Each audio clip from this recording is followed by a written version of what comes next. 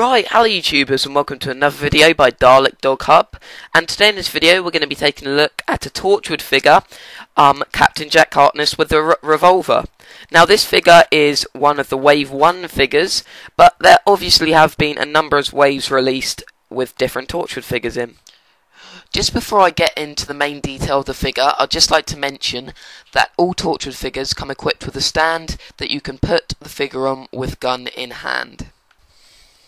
To begin, we would be talking about the figure's articulation, which is how far the joints can bend.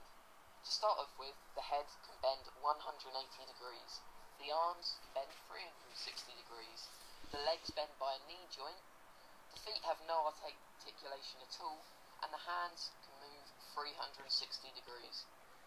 To begin, we would be talking about the figure's articulation, which is how far the joints can bend. To start off with, the head can bend 180 degrees, the arms can bend 360 degrees, the legs bend by a knee joint, the feet have no articulation at all, and the hands can move 360 degrees. Now let's move on to detail. The facial features and the hair represent John Barrowman exactly. Obviously, in Series 1 to Series 3, he has had many different looks, but this is probably one of his bests. Now, the clothes of John Barrowman figure Wave 1. It comes with two straps that go across and join to his trousers, and a very nice belt. It comes equipped with a gun a holder, holster, whatever you'd like to call it and it comes with a very nice detailed blue top. It comes with wrinkles and even and even some buttons, which I think is a really nice feature to add to this brilliant figure.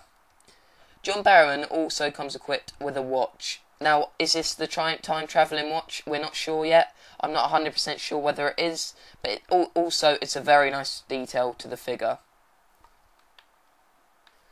Moving on to the detail of the lower part of the body, as I said, it comes equipped with a belt and also a gun holder, but the trousers, as I said earlier, are not detailed as much as I would like them to be. They are more plain and there's no texture th to them, which I think is a really big letdown. As they join or fold down to the shoes, there is slight wrinkles, which I think is a good feature, but to be honest, I think that's a bad feature to the figure.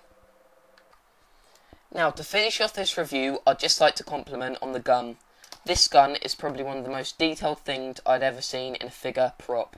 For example, it is a repeater, or um, as some people say, a revolver, and it is very nice detail. It almost looks like there is a silencer on the end, which I think is a very nice touch to this figure. There is no trigger on the gun, which I think is a very big letdown and could have been added very easily.